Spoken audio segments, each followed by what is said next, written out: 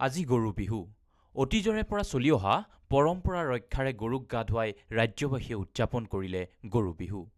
গৰু বিহুৰ দিনাই বজালিৰ ঐতিহাসিক গোবিন্দপুৰ সত্ৰ চৌহদত অসমীয়া চহা জীৱনৰ পৰম্পৰাগত সম্পদ নাঙল জাপি জুঁৱলি খৰাহী পাচি কোৰ যঁতৰ তাঁতশাল জাল গামোচা আদিৰে সজোৱা ৰেম্পত উঠে গোধন। নানা ৰঙীন বেশভূষাৰে নাচনিজনি কৰি সজোৱা হ'ল গোধনক।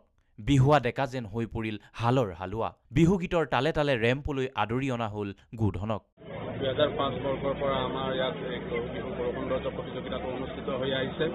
কৃষক ৰাইজক উৎসাহিত কৰাৰ অৰ্থেৰে যে গৰুৰ লগত কৃষকৰ কেনে সম্পৰ্ক খেতিপথাৰত গৰুৰ কেনে সম্পৰ্ক এই এই গোটেই বিষয়বিলাকক লৈ আমাৰ ইয়াত গৰু সৌন্দৰ্য প্ৰতিযোগিতাটো আমাৰ গোবিন্দপুৰ ৰঙালী বিহু পৰিচালনা সমিতিয়ে আয়োজন কৰি আহিছে। ইয়াত মানুহৰ বহুত সমাগম হয় গৰু সৌন্দৰ্য প্ৰতিযোগিতাৰ দিনাখন।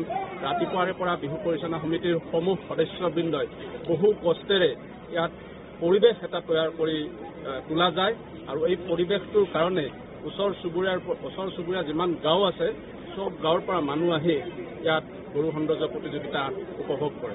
উল্লেখযোগ্য যে ৰাজ্যৰ ভিতৰতে এইখনে একমাত্ৰ গোধনক ৰেম্পত আনি পতা গৰুৰ সৌন্দৰ্য প্ৰতিযোগিতা।